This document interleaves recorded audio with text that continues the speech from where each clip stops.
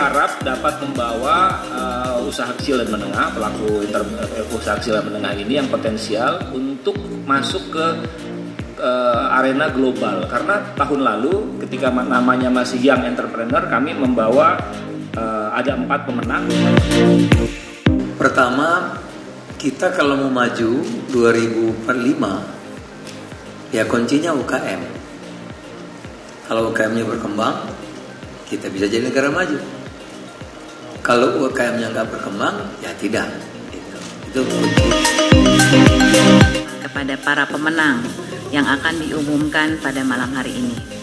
Saya juga menyampaikan apresiasi yang tinggi kepada Tempo.co atas penyelenggaraan acara Indonesia Entrepreneur Challenge 2023.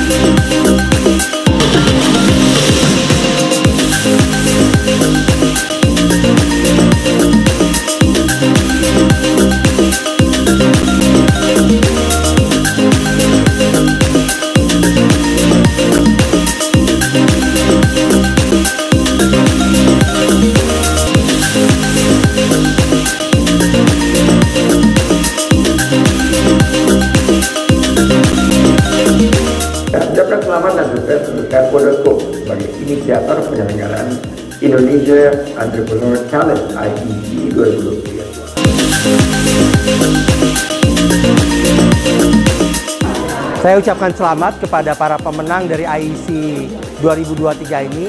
Ingat bahwa ini masih permulaan karena perjalanan masih panjang. Nanti para pemenang ini akan di, terus dibina untuk dibuat menjadi pemenang-pemenang yang berikutnya. Jadi masih akan ada pertandingan-pertandingan berikutnya, masih ada perluasan. Tadi ingat Pak Menteri Perdagangan menyampaikan bahwa kita membangun ekosistem.